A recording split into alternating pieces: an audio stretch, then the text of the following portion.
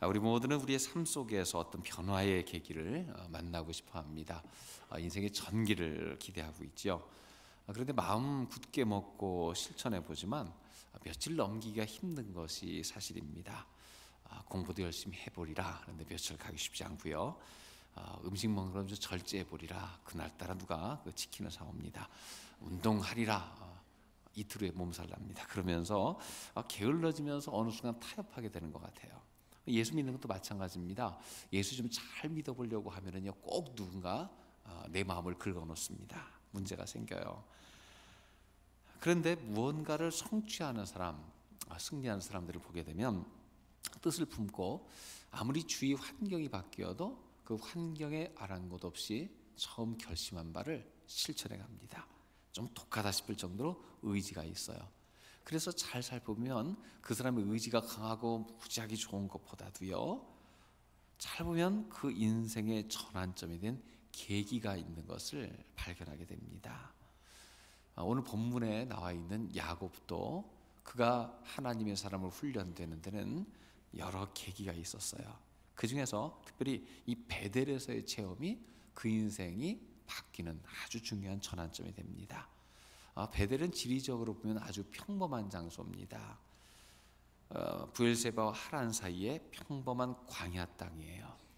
야곱이 쫓기어 때에 노숙하려고 밤에 돌베개 베고 잔 그런 땅입니다. 근데 어떻게 이곳이 야곱의 인생 전환점이 되었는가 말씀을 통해서 함께 살펴보고자 합니다. 먼저 생각해 볼 것은 그럼 베델 이전의 야곱은 어땠는가라는 것입니다. 야곱은 태어나기 이전부터 몇 가지 문제를 떠안고 태어났어요. 그것은 뭐냐면 늘 피해 의식에 쌓여 있었던 것 같다. 그렇게 생각됩니다. 야곱의 모습은 항상 피해 의식, 억울함 아, 이걸로 쌓여 있습니다. 왜냐하면 한 발 늦은 인생이었어요. 쌍둥이로 태어났는데 뱃속에서 형과 다투다가 태어날 때 잠깐 차이로 둘째가 되었습니다.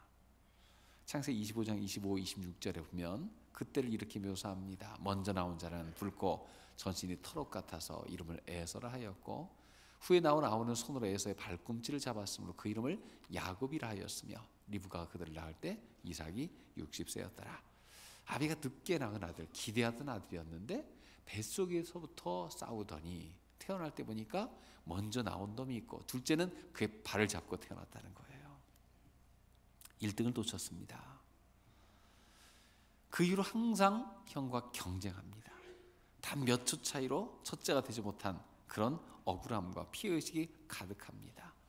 그래서 첫째라는 것에 대한 집착이 좀 강했어요. 어떻게 하면 형 대신에 장자의 축복과 그 우선권을 얻을까 늘 골똘하게 생각하고 준비하였습니다. 그래서 우리가 알고 있는 몇 가지 사건은 그의 마음이 어땠는가를 알 수가 있죠. 아, 기회를 노렸습니다. 형이라고 부르기도 싫고 명분만이라도 되찾아올까 하는 생각 가지고 이 팥죽의 사건이 나오죠. 형은 사냥하기를 좋아했습니다. 어디 가서 짐승을 잡아오고 그 짐승을 요리하고 이런 걸 참 좋아했어요. 그래서 그가 사냥하러 나갔을 때 돌아올 즈음 돼서 어떤 일을 벌이냐면 팥죽을 줍니다. 허기지고 기진해서 돌아올 때쯤 먹고 싶어서 눈이 뒤집히게 만들어 놓습니다. 그래서 그 사건에 그 팥죽 한 그릇을 어떻게 됩니까? 장자의 명분을 가져옵니다. 실제적 법적 효력은 없지만 이제 내가 형이야 이렇게 하기 시작한 겁니다. 형이라고 불러봐. 아, 그러면서 걸렸을지도 모르겠습니다. 그리고서 아비가 장자에게 내리는 가장 큰 축복인 갑절의 축복을 허락해주는 그 기도의 날. 영적인 축복이 선언되는 그날 계략을 꾸며서 형이 사냥하러 간 틈에 별미를 만들어서 들어가서 그 축복을 탈취합니다. 그 기도에 내리는 자리에 자기가 들어갑니다. 철저한 위장과 속임으로 실제 축복을 취했습니다. 그는 속임과 거짓을 통해서도 목적을 달성하려는 집요한 성격의 사람이었죠. 그런 가정에서 상처가 있었습니다. 바로 편의 상처입니다. 아버지는 형을 더 좋아했어요. 아마 형이 더 남자답고 더 강인하고 그래서인지 모르겠는데 그 형을 훨씬 더 좋아했습니다. 당시 중, 중동의 상황이 어땠습니까? 얼마 전까지도 그 아비 이삭은 아비멜렉에게 쫓겨 다니는 어려움을 경험했습니다. 그러면서 아마 하나님의 은혜로 그 일을 해결됐지만 그 마음속에 무엇이었습니까? 힘이 없으니까 이런 일을 당하는 거야. 그런 생각을 했을지 모르겠어요. 자기의 대를 이으는 아들은 힘도 있고 능력도 있고 남자답고 그랬으면 좋겠어. 그랬는지도 모릅니다. 자기는 좀 유약했거든요. 근데 에서를 보니까 아주 남자답습니다. 사냥을 해옵니다. 그 고기를 요리를 해줍니다. 그를 더 좋아했어요. 25장 28절에 그걸 이렇게 묘사합니다. 이삭은 에서가 사냥한 고기를 좋아함으로 그를 사랑하고 리브아는 야곱을 사랑하였더라. 강한 형에 대한 부친의 편애가 있습니다. 그래서 평생 부성의 부재의 상황으로 그는 컸을지도 모릅니다. 물론 반사이익으로 어미는 그를 더 아꼈지만 그로 인해서 늘 마음에 상처가 있었던 것 같습니다. 근데 여기서 또 하나 생각할 것은 뭐냐면 그의 하나님에 대한 자세는 어떻습니까? 하나님께서 그를 축복하시는 것, 즉 장자의 복을 구하고는 있었지만 그에게 믿음은 좀 부족했던 것 같아요. 아마 그 어미가 그 형 때문에 속상해하고 아버지가 그를 더 아끼지 않는 걸 보고 늘 마음 상해 있을 그 동생에게 무엇을 얘기해 줬겠습니까? 아마 그가 뱃속에 있을 때 하나님께서 주신 예언을 늘 상기시켜 주었을 겁니다. 25장 23절에 보면 어떤 예언이 나옵니까? 같이 읽어보겠습니다. 여호와께서 그에게 이르시되 두 국민이 내 태중에 있구나 두 민족이 내 복중에서부터 나누이리라 이 족속이 저 족속보다 강하겠고 큰 자가 어린 자를 섬기리라 하셨더라. 큰 자가 어린 자를 섬긴다고 했다. 너는 잠깐 차이지만 어린 자가 아니냐. 너는 섬김 받을 것이다. 더 커질 것이다. 걱정 마나 문제 없다. 아마 수없이 반복해서 이야기해 줬을 거예요. 하나님의 음성을 직접 들었을 때 그 생생한 느낌이 있었기 때문에 그걸 얘기해 주고 달래고 그랬을지도 모릅니다. 하나님이 그를 이미 태중에서 예정하셨고 더 크게 쓰기로 작정했다는 것입니다. 그러면서 한번 믿고 행동해 보지 않겠느냐? 그렇게 얘기했을지도 모르겠어요. 하지만 믿음이 좀 부족했습니다. 하나님께서 이미 말씀하신 것이면 우리는 알고 있는 게 무엇입니까? 어떤 방법을 써서라도 하나님은 그 일을 이루실 줄로 믿습니다. 그 하나님 말씀을 그렇게 믿지를 못했어요. 하나님이 작정하시면 이루실 것이다. 지금 상황 보면 전혀 그렇진 않아 보이지만 하나님은 그 뜻대로 이루실 것이다. 그렇게 믿어야 돼요. 근데 일하심을 믿지 못하고 자기의 지혜와 꾀로 성취하려고 힘을 씁니다. 과거 유럽에서 유명했던 어떤 잘못된 신학 이론 중에 이신론이라는 게 있습니다. 그래서 그 얘기가 뭐냐면 이론적으로는 하나님을 인정하겠는데 실제 역사하신 하나님은 인정하지 못하겠다. 그래서 시계 비유를 듭니다. 어떤 유능한 기술자가 시계를 만들었는데 시계를 만들어 테이블 감아놓고서 하나도 간섭하지 않는다는 겁니다. 하나님이 그런 하나님 아니냐? 만들어 놓고 간섭하지 않는 하나님. 아마 그때의 야곱은 하나님을 그런 존재를 알았을지도 모르겠어요. 하지만 잘못된 거죠. 하나님 어떤 분이십니까? 하나님은 창조주이실 뿐만 아니라 지금도 우리 가운데 섭리하시는 분인 줄로 믿습니다. 그는 하나님을 어떻게 알았습니까? 모자라게 알았던 것 같아요. 지금도 일하시며 역사하시는 그 하나님을 온전히 신뢰하지 못하고 그 하나님 말씀을 굳게 믿지 못하고 자기 힘으로 이루려고 노력했던 것 같습니다. 나는 어떻습니까? 나도 하나님을 온전히 신뢰하기보다는 나를 신뢰하고 내 꾀와 지혜로 일하려는 사람 아닙니까?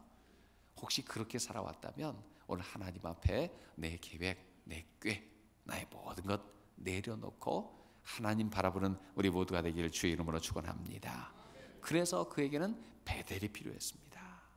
베델에서 야곱은 어떻게 됩니까? 자, 자기 꾀로 장자의 명분도 취했고 장자의 축복의 기도도 받았어요. 그러면 그 결과는 잘 돼야 되겠습니까? 이제 성취되고 잘 되는 것만 남은 것처럼 보였는데 결과는 목숨을 피해서 도망 다니는 신세가 된 거예요. 기약 없는 도망길 급히 나오느라고 제대로 된 여장도 차리지 못했습니다. 그 집이 돈 없는 집이었습니까? 아니에요. 대단한 부자 가정이었어요. 근데 나올 때 보면 아무것도 제대로 챙겨 나오지 못한 채 빈들에 도달합니다.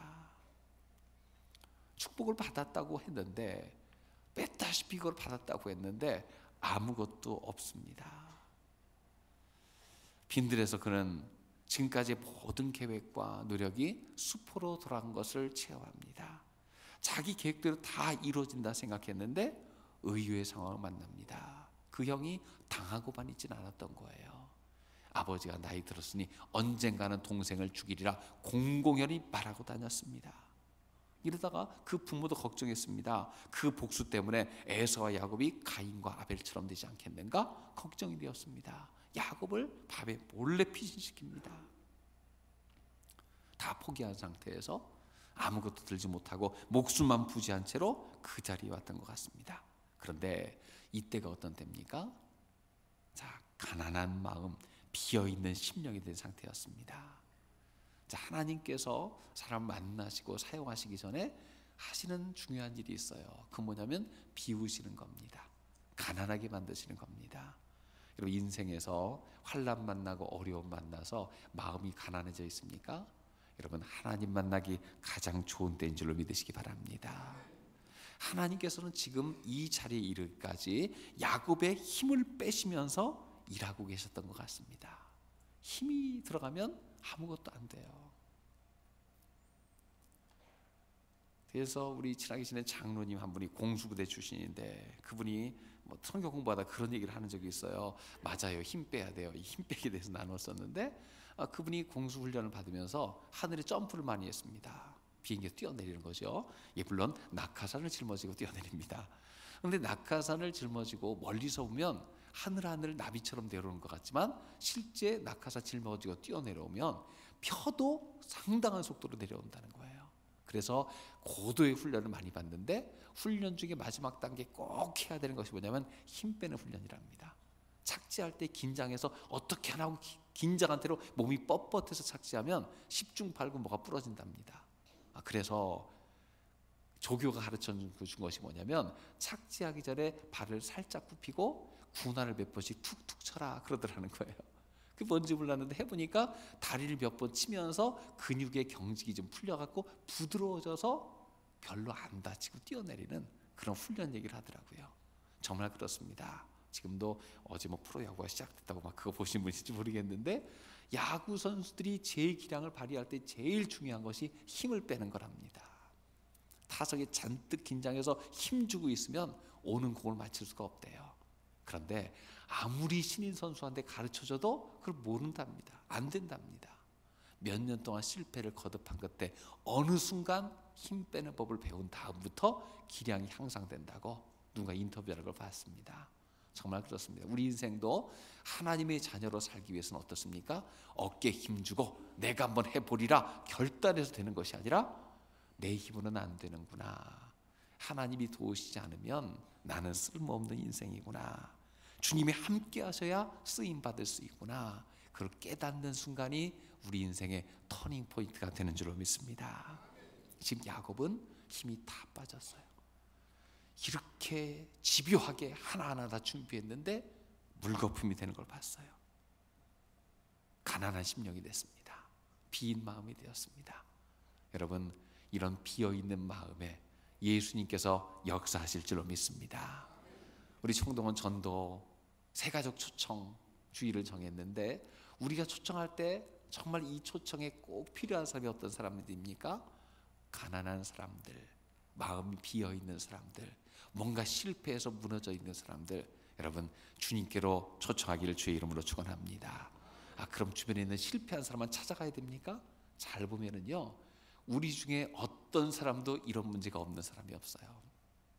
아무리 부자이고 인생에 아무 문제 없는 것처럼 보이는 사람도 만나서 이야기하다 보면 이 지점이 있어요. 겉보기만 괜찮을 뿐이지 속에는 다 상처가 있고요. 문제가 있고요. 좌절한 게 있습니다. 누구든지 예수를 주로 만나야 그 인생이 변화될 줄로 믿습니다. 주님을 초대해서 주님에게로 초대해서 그분이 주님 만나는 체험할 때 그 인생의 배델이 펼쳐질 줄로 믿습니다. 자, 그 자리에서 무엇을 봅니까? 자는 중에 꿈에 무엇을 보냐면 한 사닥다리를 봐요.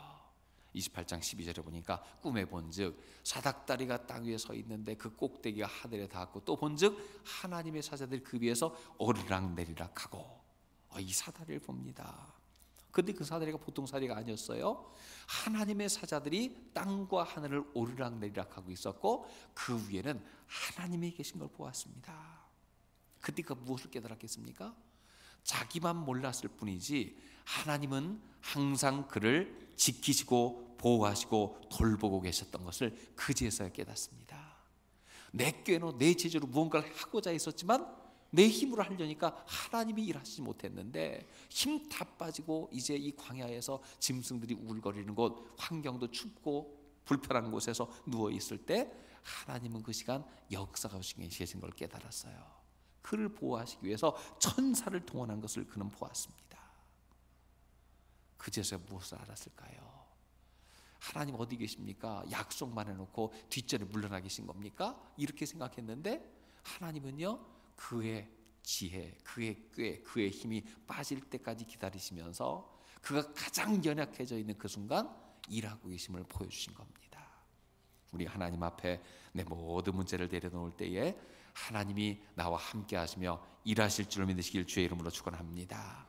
그뿐 아니라 그에게 말씀을 들려줍니다. 28장 15절에 보면 같이 읽어보겠습니다. 내가 너와 함께 있어 내가 어디로 가든지 너를 지키며 너를 이끌어 이 땅으로 돌아오게 할지라 내가 내게 허락한 것을 다 이루기까지 너를 떠나지 아니하리라 하신지라 약속의 말씀을 남겨줍니다. 너와 함께 있겠다. 어디로 가든지 너를 지키겠다. 이끌어 주겠다. 이 땅으로 돌아오게 하겠다. 내가 한 것을 허락하기까지 너를 떠나지 않겠다. 약속해 주셨습니다. 하나님 어떤 분이십니까?